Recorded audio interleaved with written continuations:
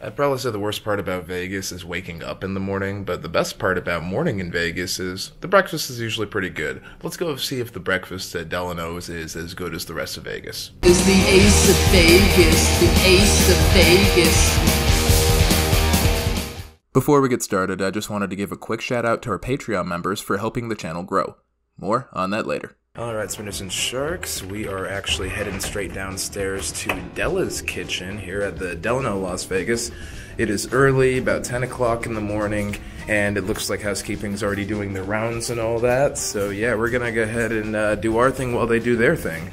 And this time we're gonna remember to press the uh, the down button. Wonder Woman and I forgot to do that last time, so we're gonna do that properly this time. And then, uh, yeah, it's time for a little bit of food. I cannot words right now. We actually just have to go straight across the lobby here. And then it's gonna be on the corridor that takes you down to Mandalay Bay as a whole. So you're gonna go through the big French double doors over here, right by the coffee shop, and then we're just gonna walk our way straight over to Della's Kitchen. So let's see if they have an opening for one. It'll be a quick, simple, seamless review. And then, yeah, we're gonna be back to it. So we'll roll right up to the host.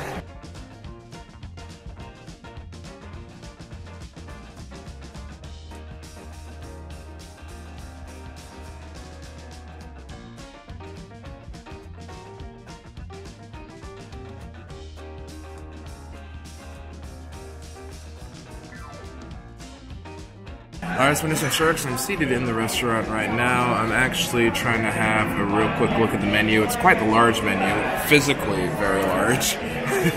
it's actually on this whole little wooden post and all that, so they did a good job of that.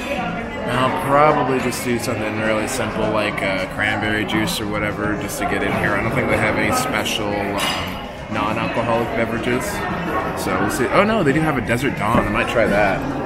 Oh, that's interesting. And then, uh, yeah, we're gonna have a look at their Chef's Farmhouse specialties.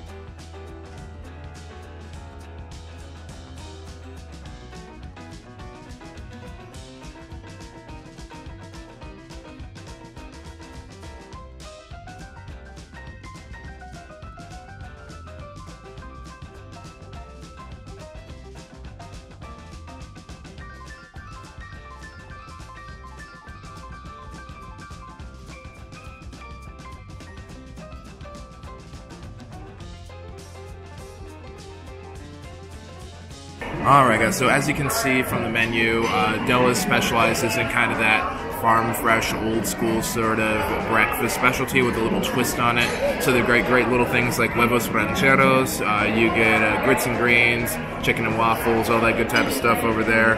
I know they've got some newer stuff too. Obviously, they've got the avocado toast that you can get in on, um, and then there's a smoked salmon uh, tartine there.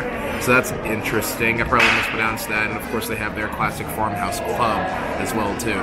So lots of interesting things to do. I'll probably end up doing. Uh, you know, I think I will go ahead and try it. Their, their chicken and waffles. That's their classic there. So we're gonna try that out, see if that's any good, and then uh, just rock and roll from there. All right, guys. So here's what we got over here. We got the chicken and waffles. So it's definitely a modern twist on an old classic over here.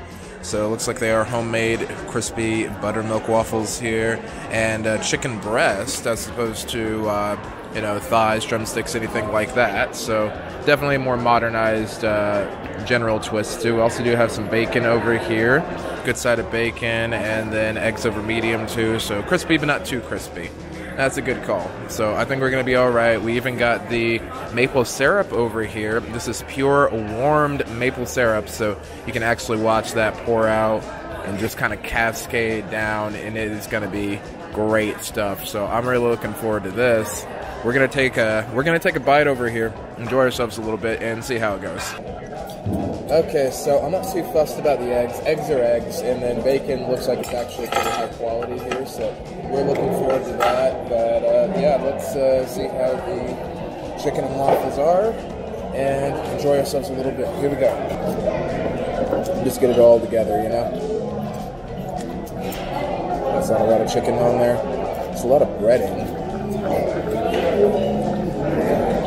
All right doesn't uh, doesn't last long with the syrup on it there, so you just kind of end up with the crust separate. from the actual chicken. So that's uh, that's a thing to notice. But in the meantime, let's go ahead and cut into this, have a nice little bite over here, and see if it's any good.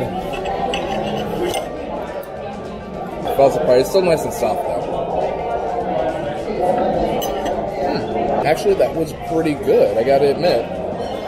The, the chicken's well seasoned. Um, you can tell the actual chicken season, as well as the breading is too. If you just take a quick look at that, I'd probably say, I mean, that's a good four out of five right there. You got the powdered sugar in there. The uh, waffle is soft, but it's still crispy on the there, so you get a good crunch with it, and it you know de- definitely doesn't hurt going down. So not dry at all, nice and moist.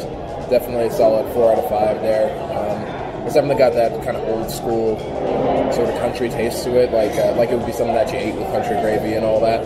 Uh, I think if I have any gripes, it probably would be the fact that the chicken is fried in breasts and all that instead of it being like thighs or drumsticks or anything. So that usually gives it a bit more flavor to me personally.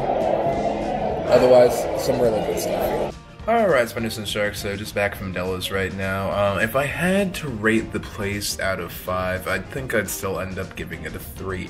I don't think the value for money is there for a lot of the stuff. You get some decent sized portions, not gonna lie, but for what they're charging for sides, like I think it was $9 for a side of bacon, and then uh, for two eggs it was another $6, and it was just, I mean, it's pretty standard hotel ridiculous rates there. Um, otherwise, you know, pretty good food. Service was pretty average, and it's uh, it's a pretty open restaurant. It's just kind of attached to the hotel, and I think that's the big thing. If it was a standalone, I don't see myself going there. But yeah, if you're at the Delano, already visiting over there, and then just want to do something quick and easy for breakfast, well, that's a good way about going things, I'd say. Alright there, Spinners and Sharks, that's it for today's video. If you enjoyed today's review and found it informative, I'd appreciate a like, and consider subscribing if you haven't already. Before I go, I just wanted to give another shout out to our Patreon members. Guys, it means the world to me that you choose to support me in this way and help Ace of Vegas stay independent of the YouTube algorithm. Because let's be honest, my content isn't always as censor and advertiser friendly as YouTube would like, so this goes a long way in keeping the channel running. If you want a more direct hand in keeping Ace of Vegas growing, check out the Patreon link in the description box down below. As for Della's, what did you guys think? Would you go to breakfast there? Or is your appetite better saved for the Mandalay Bay pool itself? Whatever your thoughts may be, I'd love to hear them in the comments down below. Until next time, though, this is Ace of Vegas signing out, wishing you strong hands, and of course, happy spinning, you guys. Viva Ace of Vegas. Viva Ace of Vegas. Viva Ace of Vegas. Viva,